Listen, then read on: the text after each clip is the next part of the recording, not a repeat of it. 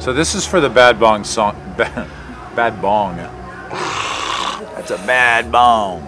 This is for the Bad Bong songbook, and uh, it was it was devised when I came through here and played with this band Chelsea Light Moving, which is a band I put together with uh, John Moloney and Samara Lubelski and Keith Wood, and we were uh, barnstorming around Europe, and uh, we were Chelsea Light Moving, and we played here, and we had uh, an album full of songs, and one of them was called No Go.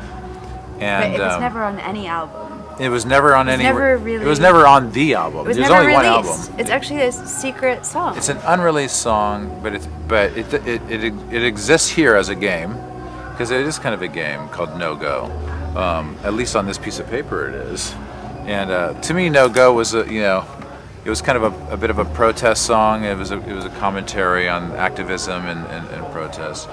Um, it's a bit of a loaded song, and uh, the idea of say what you will, stay where you are, and like no, no, no, no. There's like idea of defiance, but it's also also idea of was like breaking through the barriers, the the borders. It was like no borders, no go. Um, it- Usually you're like a yes person. Usually, I am a yes person. He's a yes person. Yeah. So the idea that you would be saying like no, no, it was really like this moment where he was just like, yeah, I, I've just decided to say no, yeah, and I think there was even talk of doing like a music video at some point with uh, children who just, just refused. You know, like refuseniks.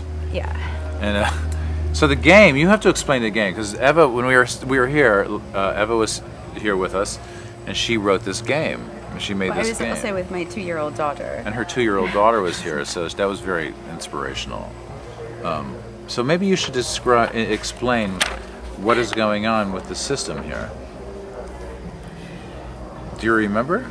No. Oh, no go. Well, it starts. A lot of the, you know, um, the end of the song is like one, two, three, four, five, six, seven. No, no go. So it goes one, two, three, four, five, six, seven. I don't think. I think basically what it is, it's just, um, it's a really sort of uh, expressionist page for your for your book.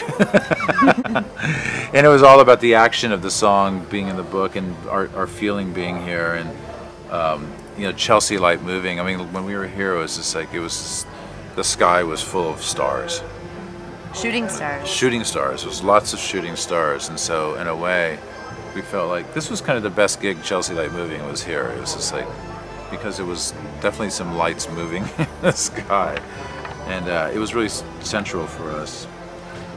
And so yeah, It was also like a point when we, everyone was at a point in their life where they just decided they knew everything that they were supposed to be doing and everything that everybody else wanted them to be doing. And just finally saying no, but I want to do something else. Yeah, that's what it is. And that's what it remains. And I, I, I, I had sort of forgotten about this until you showed it to me. I mean, it's great that you remembered it. So I'm really happy that this is in the book. Maybe you know. should release the song specifically for Yeah, this maybe put a because it doesn't exist anywhere. Should we put a flexi disc in the book?